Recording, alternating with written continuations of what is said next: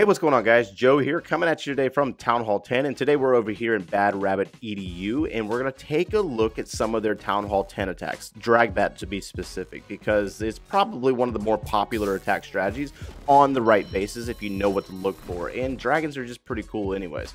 And when we look at this base in particular, it is really let's just get rid of the trash here and let's look at one side of the base. You have all of the wizard towers and on the opposite side you have all of the air defenses. So if you split this base in half and you plan to run all of your dragons on one side of the base and the bat spells to run the opposite side of the base and have the bats travel up and clear defenses in in reality you just swept the entire base now the one thing that you have to worry about is clearing the buildings to keep the dragons inside and that's what your heroes are for and that's what the baby dragons are for and so as we look at the army, we do have eight balloons, nine dragons, two baby dragons, a stone slammer, which is probably one of the better siege machines for Town Hall 10 to use.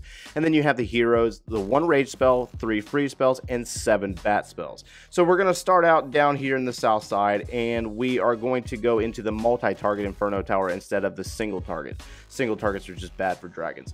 So balloon is used to look for a seeking air mine, and the baby dragon is going to take out a few buildings. Then you're going to see the barbarian king and the queen dropped as well as a dragon. So we're going to clear out a few buildings here to make sure that our dragons stay inside this path through these compartments. You're going to see the balloons drop next and then backed up by all of the dragons. And they're going to move their way into the defenses. And there's a lot of defensive power over here, so they're going to drop the balloons very quickly.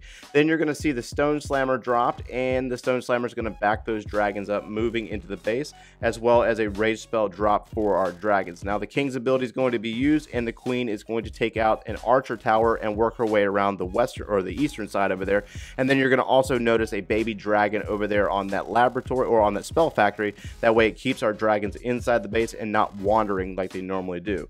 Next, you're going to see the freeze spell dropped on that Inferno Tower as well as all seven bat spells and the bat spells are going to start traveling up towards the air defenses. And just like I said before in the breakdown of this base, those bats are going to travel from defense to defense, taking out cannons, X-bows, air defenses, and they're going to move up into the final wizard tower. Now, as we move to the back end of this base, the freeze spell is dropped, but it's a little late and the bats will get roasted. But either way, it was a really great plan.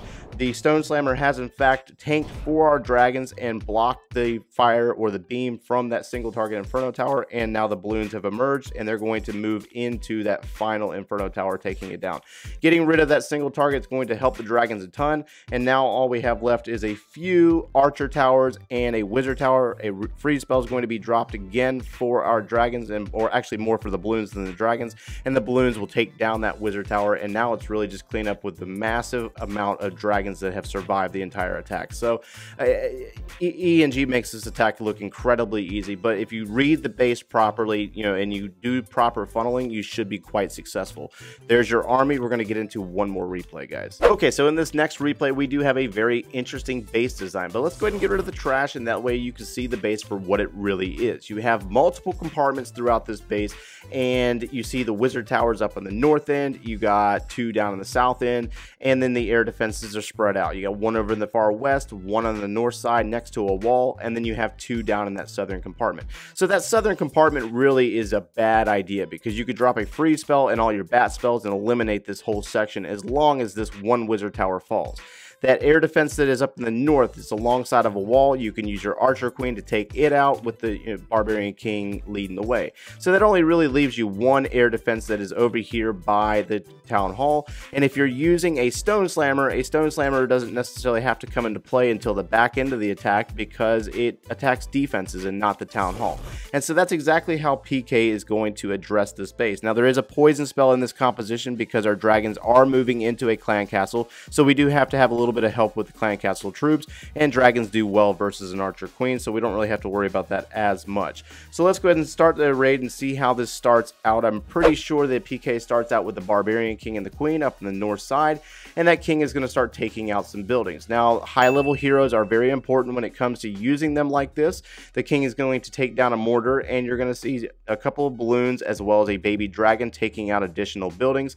The balloons are working into an archer tower, and the baby dragon dragons dealing with some air set skeleton traps. Now, that king's ability is going to be used because he is being targeted by an X-Bow, but he needs to take out multiple buildings to help this queen out. We really need this queen to go down here and take out that air defense. Down in the western side, you'll see one single dragon dropped, and it's clearing out a few buildings to set up for the massive group of dragons. Now, you got to remember that if you don't clear out these buildings over here, the dragons will steer out and stay outside. So you do need to make sure that you take out a few of these buildings down here. That way the dragons go directly into these defenses and work towards the core. The queen has taken down that air defense up on the north side and her ability is going to be used. And she's taken out multiple buildings up there. Now you'll see all of the balloons as well as the dragons dropped and they're working their way into the base going into that air defense. The air defense is targeting multiple things and it will in fact go down. And then there was a seeking air mine that got sucked up by a balloon and now it's really just all dragons from here. The queen is down, the poison spell has been dropped for our baby dragon that came out of the clan castle and there are some witches.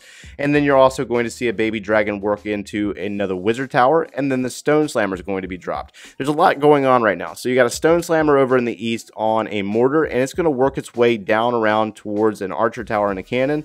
And then you will also notice that the freeze spell, the rage spell, and the spells have been dropped on that southern compartment, taking out the wizard tower and those final air defenses down there, like we discussed in planning stage. So air defenses are down, and the bats are going to work their way around, taking out multiple point defenses and really just helping our dragons out. The baby dragon up in the north has taken out a X-Bow up there, Freeze spell is going to be dropped to save our bats or try to save our bats, but it's going to be slightly unsuccessful considering it is a multi-target Inferno Tower and they do get roasted. But again, you do have a Stone Slammer here. It's pretty powerful for Town Hall 10 and it will in fact take down that final Inferno Tower with ease and it's still fully intact and it's going to survive all the way to the back end of the raid. So you got a dragon down here in the south working its way around and you have a massive group of dragons following that Stone Slammer and the final buildings will go down quickly. So just an absolutely beautiful attack here by PK. Nego negotiation of this base was quite brilliant, and it's just something to think about when it comes to picking a siege weapon to use for Town Hall 10 attacks. The Stone Slammer is a great option to go about it. There's your army, and that is going to wrap us up for today, guys. If you enjoyed the content, smash that like button, subscribe if you haven't done so already, and thanks for watching, guys. Do it! Come on, kill me! I'm here! Come on! Do it now! Kill me! Bug, you just keep coming up with these hashtags.